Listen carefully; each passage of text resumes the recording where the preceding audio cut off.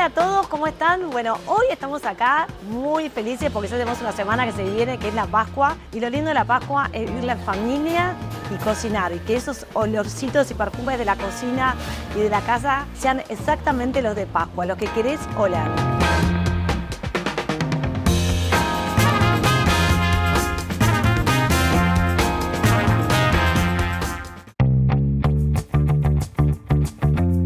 Empanada gallega.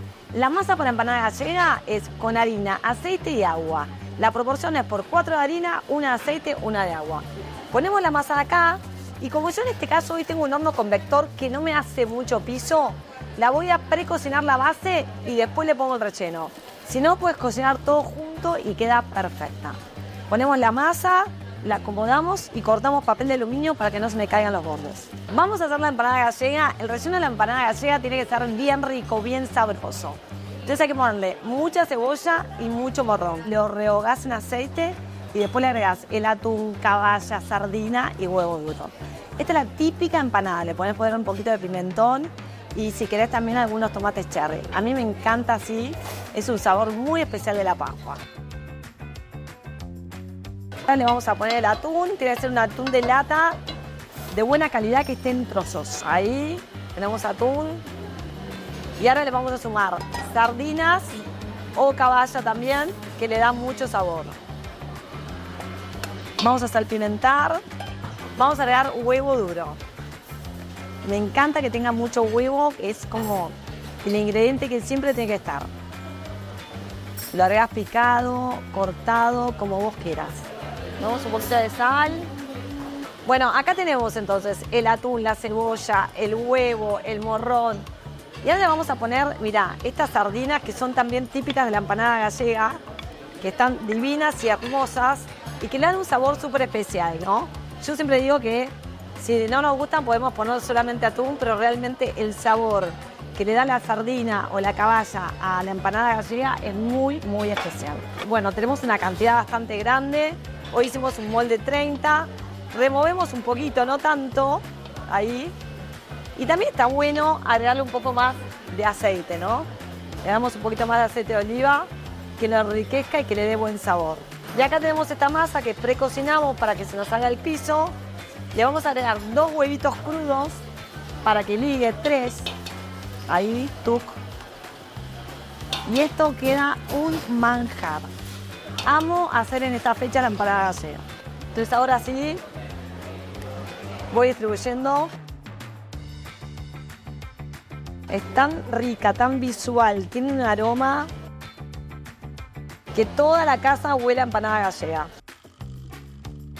La idea es comerla con una ensaladita, pero realmente es muy sabrosa y es para un montón de gente. Puedes sacar de acá 12 porciones fácil. Lo bueno es que queda así como jugosita, ¿no? que quede suelta. Y por eso también no corto nada la sardina ni la caballa porque queda buena así entera. Ah, la vamos a tapar. Vamos a estirar la otra parte de masa que nos quedó. Ponemos un poquito de harina en la mesada y la tapamos. Este pastel, tarta, empanada gallega, está buena que la cocines en horno siempre fuerte, ¿sí? Porque ahora la masa, además se le agregó toda la humedad de este relleno. Esta masa es una masa súper fiel, es una masa que funciona bárbaro. Lo bueno es respetar las cantidades, o sea, siempre es cuatro tazas de harina, una de aceite, una de agua o la mitad, pero siempre la misma taza, respetando y queda perfecto. Tapamos y queda divina, tapadita. La extendemos un poquito y queda divina. Horno a las chapas y a terminar la cocción. Chicos, empanadas de vigilia. La empanada de vigilia es una empanada con masa de hojaldre. La podemos hacer de pescados, de atún, de espinacas, de choclo, de cebolla y queso. Todos los rellenos que no tienen carne son las empanadas de vigilia, es la vigilia pascual, antes de la Pascua. Masa de hojaldre, muy delicada. La puedes buscar en mi canal de YouTube que tengo toda la receta súper bien explicada. La tenemos acá. Vamos a acomodarla. Mezclamos bien el huevo para pincelar la empanada para que pegue y cierre. Este relleno tiene espinaca, ricota, queso rallar, siempre tratando de que no sobrepase el relleno la masa, que me alcance para que el relleno esté bien. Ahora le vamos a poner un poquito este que es de choclo. Este tiene choclo, queso, cebollita y pincelamos con huevo.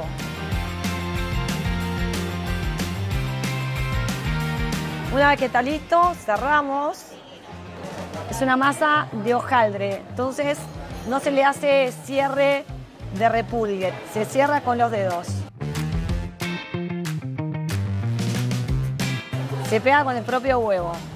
La podemos usar de diferentes tamaños, chiquitos, grandes, como nos guste. Y lo que podemos hacer, sobre todo estas que son de choclo, es colocarles azúcar por arriba que queda una delicia. Se pone sin nada la placa. La voy a poner a enfriar un rato antes de poner el horno.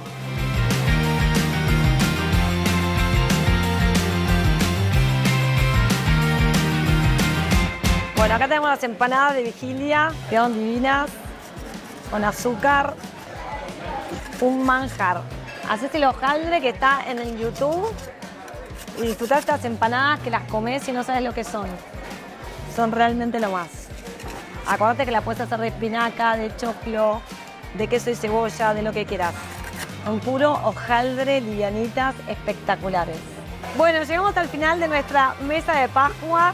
La empanada gallega, riquísima, espectacular para comer.